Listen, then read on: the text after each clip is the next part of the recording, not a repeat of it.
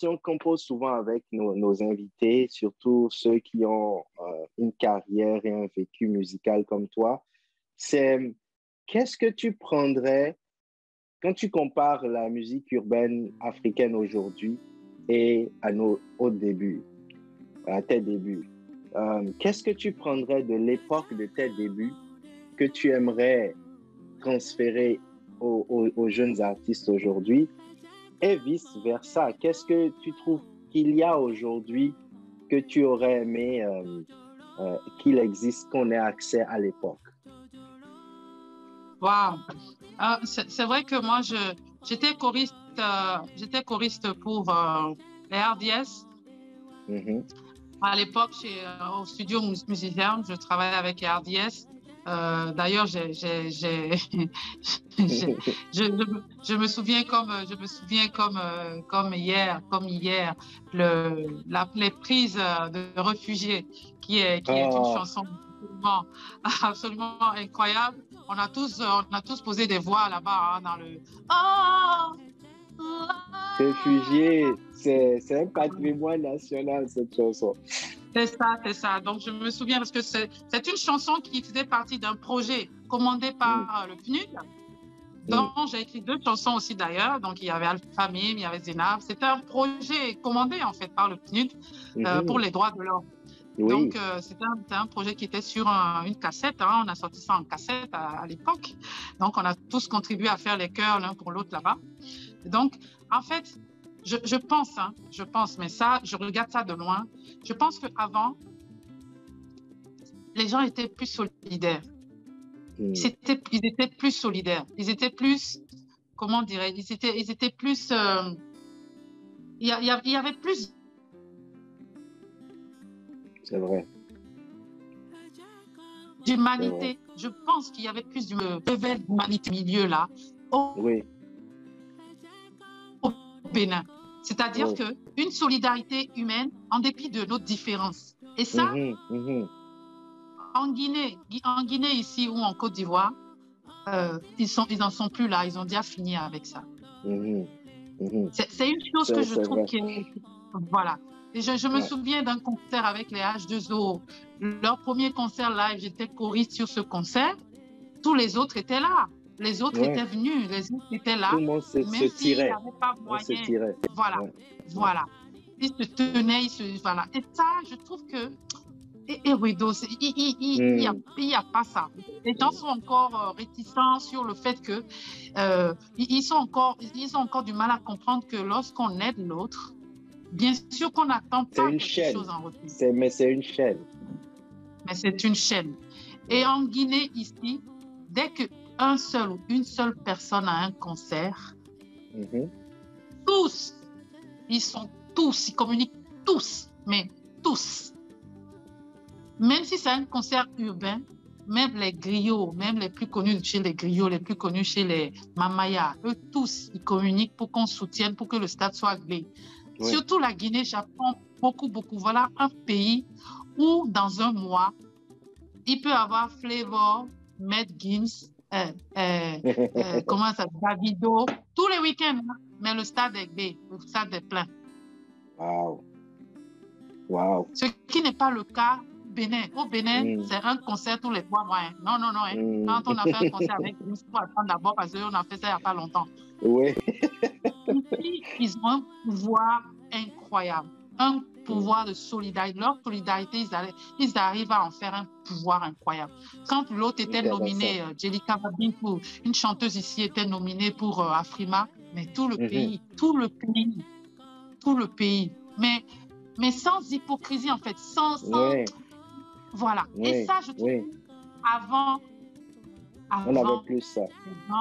Voilà. Je ne sais pas si c'est parce qu'il y a encore plus de nombre aujourd'hui, mais ce n'est pas une raison. Dans les autres pays aussi, les, autres, les gens sont nombreux, les artistes sont nombreux, mais chacun arrive à trouver ce qu'il a à manger. Mhm. Donc, je pense que sur ça, il faut qu'on travaille. C'est pour ça que on va jamais me voir en train de publier euh, des messages pour dire que l'autre m'a fait du mal ou que, mhm. ou que l'autre est mauvais. Jamais, jamais. Je ne publie jamais ce genre de messages. Je préfère toujours voir le beau. Parce qu'on a tous nos différences, on a tous nos défauts, on a tous C'est exactement ça. Et peu importe ce qu'on fera, l'autre là aura toujours son défaut. Donc, vaut mieux prendre ce qu'il a de bon et avancer avec. Jamais, jamais je viendrai exposer comme quoi l'autre m'a fait des coups bas, ou bien euh, ou bien l'homme est méchant, mm. hein, mm. ou bien. Non, non. Mm. On entend ça souvent. Je pense que ça vient de là, le problème. Le problème qui fait au Bénin, on... au Bénin, on est focalisé sur le fait que les uns sont méchants. voilà, on est trop aidé. Mais c'est pas ça, c'est notre éducation.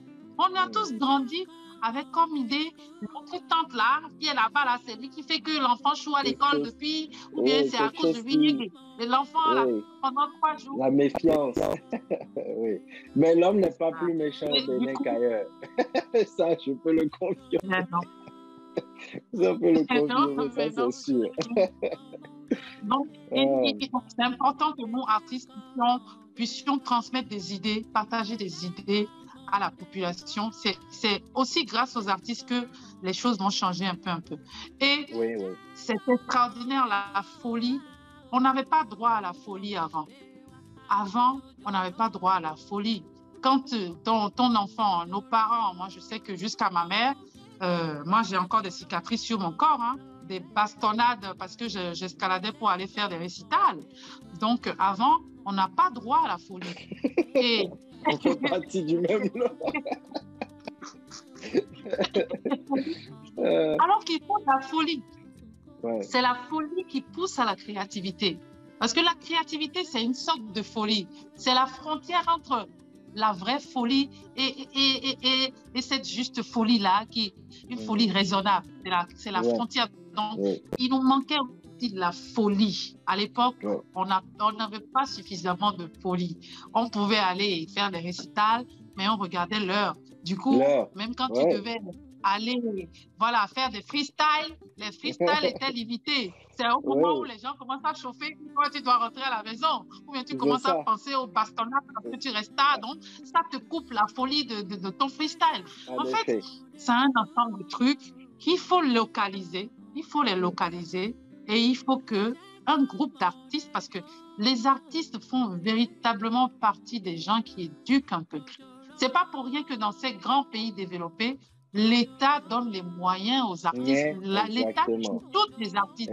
Parce que c'est par les artistes que les choses restent. Il y a des films qui se font dans des pays, la France, pour ce que je connais, la France et la Belgique, qui, les films d'auteur, par exemple, c'est pas parce que les films d'auteur euh, euh va, va, faire des, des salles pleines, c'est mhm. parce que ça reste, c'est parce qu'on on, on, on, alloue, on alloue un budget à ces films, à ces auteurs-là, pour que l'intellectuel, pour que ce travail, les artistes, pour que ça reste, pour que ça reste. Et nous, devons absolument faire ce travail-là. Moi, de mon côté, hein, j'essaie et j'essaie d'emmener les artistes un petit peu que je peux fréquenter à beaucoup échanger, à échanger. Parce que ne serait-ce que le fait que d'aborder le sujet et d'échanger, ça fait écho, mine de rien. Petit à petit, ça mhm. ira. Absolument. C'est ça, non, le, le, verbe de l'artiste. Parce que l'artiste devient un reflet de la société, mais aussi par ses paroles et ce qu'il fait, il peut inspirer la société à changer. Donc, euh, c'est exactement ça.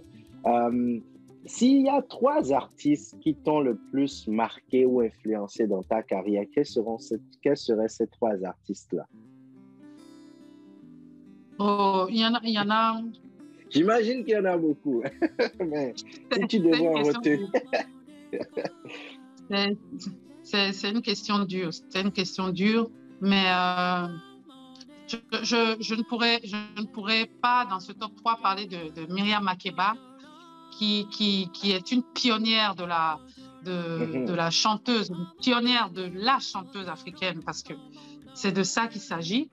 Euh, et évidemment que j'ai beaucoup, beaucoup appris en, en, écoutant, en regardant, en regardant chanter cette, cette dame-là. Bien sûr, donc euh, je parlerai de Myriam Makeba. Il y a, il y a, évidemment une autre, c'était la chanteuse de mon adolescence, que j'ai beaucoup, beaucoup, beaucoup, beaucoup écouté. Peut-être que ma musique aujourd'hui n'a rien à voir avec ce qu'elle fait, mais je l'ai tellement écoutée que je pense, je pense que euh, quelque part, euh, dans tout ce que j'ai fait, tout ce que je fais musicalement, en tout cas dans le rendu, euh, la sobriété, je pense que la sobriété vient véritablement de cette chanteuse. Vous, voulez décider, vous voulez, vous voulez deviner, laquelle chanteuse? Elle est américaine. Wow. Et c'est une des, une des plus sobres une de plus sobre. Whitney, Whitney Houston, peut-être? Whitney Houston. Non, non. Whitney Houston, elle n'était pas si sobre. Non, non, c'est pas une chanteuse à voix. C'est pas une chanteuse à voix. Ah non, c'est pas, pas une chanteuse. Hmm. Elle est androgyne. Elle est un peu androgyne. Elle est noire. Euh, eh oui, oui, oui, oui, oui. Attends, attends, attends. Euh... Elle a des locks. Elle a des locks, oui. Attends, mon père, je, on l'écoutait toute la journée dans la. Euh, bang, bang, bang. Attends. Elle a des locks. Euh, fast Cars. Attends, attends. Je, je, j'ai un blanc, mais je. Cette, cette chanson me vient. Yeah, oui. Ces chansons me viennent parce qu'on écoutait tellement. Mais. Euh, euh, euh, oh, man, comment elle s'appelle? Attends, attends, attends. Elle a une chanson qui s'appelle Bang, Bang, Bang, Bang. Attends. Bang, bang, bang. Oh mon Dieu, mon Dieu. Ça, c'est l'âge. Oh, oui, oui, je connais, mais son, son nom m'échappe.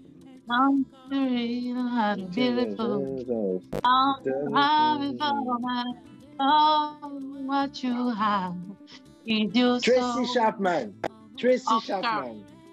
C'est ça. Tracy Chapman. Mon père avait tous les albums de Tracy Chapman. C'est ça. Tracy oh, Chapman. Mon Dieu, quel, talent. Voilà. Pour moi, pour moi, c'est euh, l'incarnation d'une chanteuse consciente, une chanteuse engagée, efficace. Oui. Un peu bavarde, mais efficace. Oui. Voilà. Je, je m'inspire beaucoup je m'inspire beaucoup, beaucoup, beaucoup, beaucoup de, de, la chanteuse. C'est vraiment de la chanteuse, de tout qu'elle représente en tant que Tracy Chapman. Ce week-end, on va écouter du Tracy Chapman. Les enfants doivent redécouvrir. Voilà, c'est bien, c'est bien. c'est bien. J'ai absolument, absolument tous ces disques, tous, tous. Et chaque chanson me rappelle toujours des choses. Euh, mon père les avait tous dans la voiture. On écoutait Tracy Chapman. Oh mon Dieu, c'est Absolument. Alors, absolument. en troisième position, je parlerai de Bella Bello. C'est Bella Bello. Oh, Bella Bello. Tu mets tout ça dans un pot, tu secoues. Oui. Tu auras Exactement. Ah, ça, c'est beau, ça. Merci. C'est vraiment beau. Et euh, où est quels sont tes projets sur les prochaines années? Comment tu te vois? où est-ce que tu vas dans cinq ans? Dans cinq ans, Popé Oleka? Est-ce est, est que tu penses comme ça ou est-ce que c'est plus euh, tu laisses, comme tu dis, l'inspiration te guider ou est-ce que tu as comme un, tu te vois un projet dans les cinq ans? Depuis que je suis en Guinée, depuis que je, je m'installe en Afrique, franchement, je ne, me, je ne me fatigue plus le mind, quoi. Je ne me mhm. fatigue plus le mind. Que je, je me, donne les moyens, je me donne les moyens de créer. Bien sûr qu'on aimerait que cette histoire de Covid nous lâche complètement et que moi, j'aimerais bien reprendre les routes du festival, c'est-à-dire repartir en Europe rien que pour, les, routes, pour faire les festivals et continuer dans mes collaborations ici. Mais l'été prochain, j'espère, je croise les doigts, l'été prochain, je sors mon prochain album. Et donc, euh, évidemment, après un album, il faut pouvoir le, il faut, faut pouvoir le porter, il faut pouvoir l'exposer, il faut créer des spectacles. J'ai envie de faire des spectacles, j'ai envie de, voilà, j'ai envie de faire des spectacles, mais j'ai envie aussi de, de, de, produire, j'ai envie de travailler avec quelqu'un, avec un, un, ou une artiste qui, qui, qui, qui, serait une, qui ferait une sorte d'écho à, à, à, ma philosophie parce que je trouve mhm. que j'ai travaillé beaucoup pour arriver à obtenir une, un semblant de philosophie qui, qui m'appartient, hein, mais qui n'engage mhm. que moi. Mais ce serait, ce serait intéressant de pouvoir, euh, de pouvoir faire écho hein, parmi les artistes. Et pour ça, il faut aussi donner la main, il faut aussi pouvoir produire, euh, produire, euh, produire d'autres personnes, d'autres, d'autres, mhm. d'autres talents. Tout à fait. Alors, on arrive à la fin. Il y a peut-être deux questions avec lesquelles je vais te laisser encore. C'est une, une des choses que, en tant qu'artiste, que, je, que, que nous aimons souligner, c'est que dans une carrière d'artiste, il y a toujours un moment inoubliable, un moment qui est spécial qu'on rencontre. Je donne un exemple pour nous, par exemple, pour, moi et Elic, par exemple. C'était le jour où on est monté sur scène avec Daraji à Gorée. C'était un moment vraiment, parce que Daraji, on les écoutait, on, les mettait sur un. C'était toujours un, groupe euh, phare piédestal des idoles. Donc, c'était un moment vraiment spécial. Alors, pour toi, quel est un moment spécial, inoubliable? Peut-être c'est une scène avec un artiste, en studio peut-être, mais qui te marque et que de toute ta carrière, tu le gardes comme un souvenir spécial que de, ta carrière d'artiste? Euh, évidemment que j'ai eu la chance d'avoir plusieurs moments. Mais oui, euh, maintenant que vous parlez de, de Daradi, oui, je suis tentée de, de dire que c'est le jour où j'ai rencontré Chapman. On n'était pas sur scène, mais on m'a autorisé à aller la voir dans les loges. Et, euh, et elle est d'une simplicité. Tracy Chapman. Ouais. Oui, oui, oui. J'ai vu Tracy Chapman à, Nîmes, mais du coup, ce n'est pas un moment de concert, ce n'est pas un moment de spectacle. Non, non, je sais. Le moment de spectacle qui m'aurait le plus marqué, c'était à Marseille. Je venais d'arriver. Quelques mois après, on cherchait une chanteuse africaine qui soit capable d'interpréter des chansons sud-africaines. Et, euh, et donc, c'est tombé sur moi. Et c'était c'est incroyable parce que j'étais la seule au Bénin à l'époque hein, à mhm. privilégier les chansons sud-africaines. Moi, je les travaillais, les chansons ah. sud-africaines. Je travaillais les chansons sud-africaines, les chansons togolaises. Et en fait, les gens se moquaient un peu de moi au Bénin à l'époque. Hein. Entre nous, on se connaît. Pendant que les gens sont là, c'est Céline Dion, c'est Whitney Houston, c'est Danny Braxton. Moi, j'étais là. J'étais là toujours. Et ça a payé un jour quelques mois après que je sois arrivée en France, je me cherchais, j'avais pas de concert, j'étais paumée. Et c'était devant 10 000 personnes. C'était pour le America's Cup. Le, la coupe, la, la America's Cup, c'est les, les, courses voiliers là, qui se passaient à Marseille. Oui, oui, oui, oui, oui, oui, oui, Et il y avait la team Chocholoza. La team Chocholoza, c'est l'équipe euh, l'équipe sud-africaine, en fait, mhm, de mhm. course voilier qui était là. Et donc, il fallait absolument qu'ils mettent euh, un spectacle sud-africain. Et j'ai été choisie. J'ai chanté devant 10 000 personnes. Et la team a monté, monté sur scène pour faire l'hymne national. Euh, et l'hymne, je ne savais même pas que c'était ça, l'hymne national. Euh, c'est le Chocholoza. on a chanté Ça, ça m'a, ça m'a beaucoup boosté. Et, et sinon, j'étais, j'étais prête à, abandonner. J'étais là à mhm. me dire, je vais aller faire autre chose. Euh. Bien sûr que j'ai dû faire autre chose, mais ça, ça m'a permis de garder là et me dire, voilà, tu sais, ça, quand vaut tu la, travailles, ça vaut la peine de s'accrocher. Voilà, tu travailles et à un moment, ça paye. ça prend ça. Hein. ça je, ne l'oublierai jamais. Ça, ça prend, ça c'est spécial, c'est spécial. Ça, et ça prend des moments comme ça. Et euh, est-ce que Justement, c'est un peu, ça, ça touche un peu à la dernière question que j'avais pour toi aujourd'hui. Je sais qu'on a débordé un peu. C'est, moi, une des choses que je remarque, c'est que c'est très, très difficile pour un artiste de vivre de son art. Euh, il n'y en a pas beaucoup. S'il y, a, y en a une chose que toi, tu retirais comme conseil de, de pouvoir vivre de son art, de, de, de la musique, euh, qu'est-ce que ce serait pour, pour des artistes qui, qui, pourraient écouter ou, ou qui, euh, qui se posent cette question? Est-ce que je peux vivre de, de, de cette musique?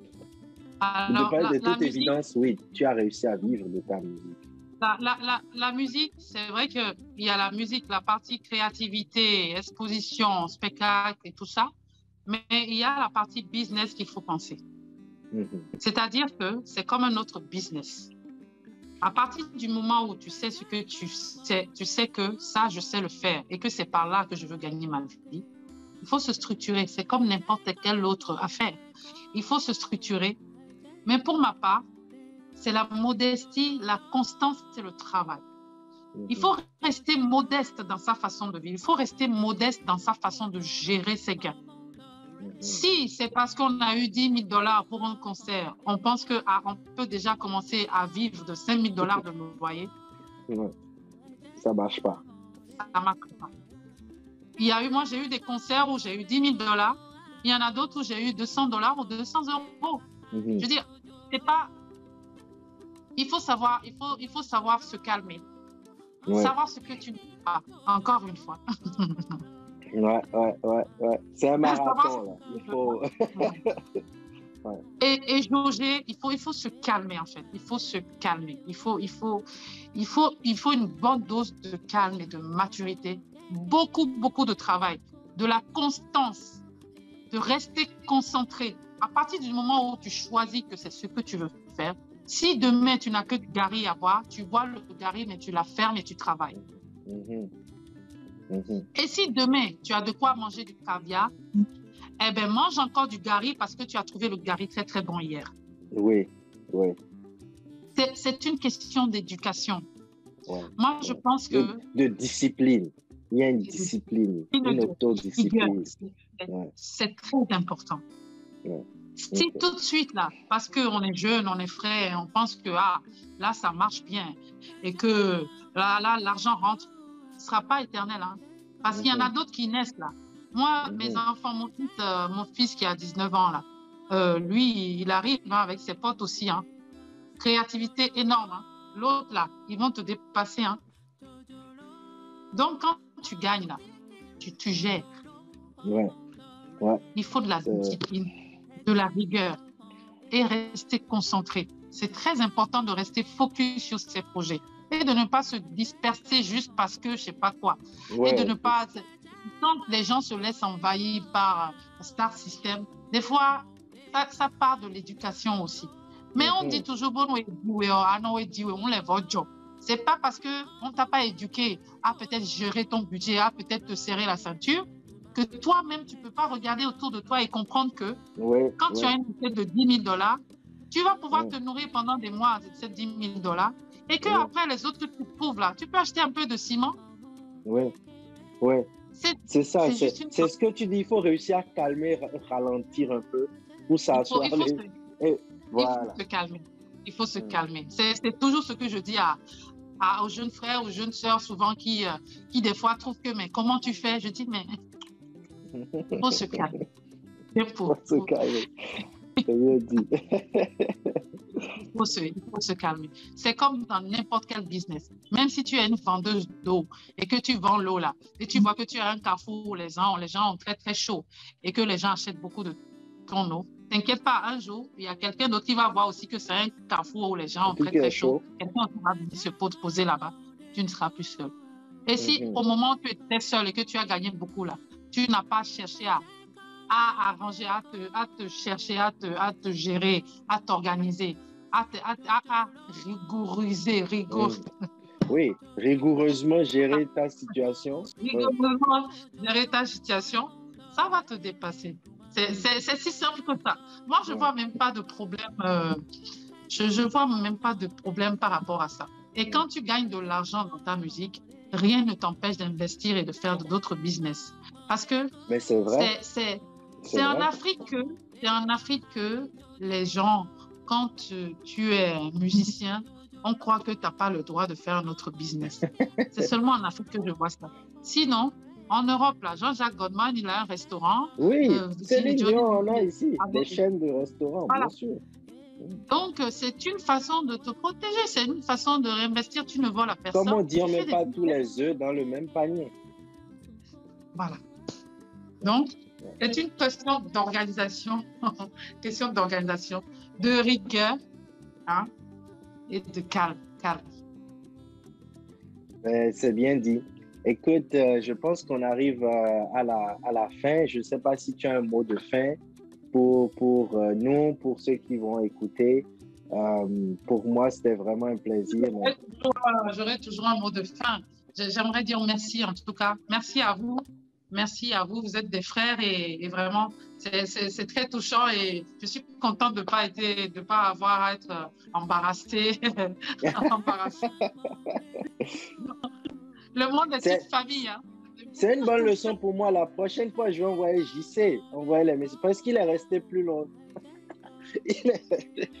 Moi, je me, suis, je me suis retrouvé en exil dans mon Canada, là, dans mon froid, dans ma neige, dans mon moins 20 degrés. Euh, donc, la prochaine fois, je vais envoyer JC faire euh, le courrier. Ça va aller. En tout cas, merci beaucoup. Merci et beaucoup de courage pour ce que vous faites. Tous ensemble, on va réussir à, à impacter et à, donner, à donner des, des vibes positives à, aux personnes qui nous écoutent, en tout cas. C'est ce qu'on veut. C'est une manière pour nous de redonner tout ce qu'on a eu, euh, que ce soit moi, JC, Elie, Christian. Euh, on s'est retrouvés, on s'est dit, il faut qu'on le fasse. On est tous derrière euh, le média et on travaille pour ça. Et puis, ça, ça, comment on ça, ça fait renaître une certaine flamme parce que de redécouvrir les artistes, d'en parler, de... il y en a beaucoup qui nous écrivent, qui nous remercient, qui nous, euh, qui nous demandent de les pousser et puis on le fait et tout ça. Donc, euh, c'est un grand plaisir. Et euh, un grand honneur de te revoir. La dernière fois que je t'ai vu, c'était c'était à, Cotonou et c'était encore du temps de RTS et tout. Donc, ça, ça fait longtemps. et moi, je suis ah, parti après. Mais ça fait grand plaisir de te revoir. Tu n'as pas changé d'une goutte. Ah. Euh, et donc, euh, c'est fantastique. Merci. Merci en tout cas. À très Merci bientôt. Beaucoup. Oui, à très bientôt. et très, euh, très bonne journée. Merci.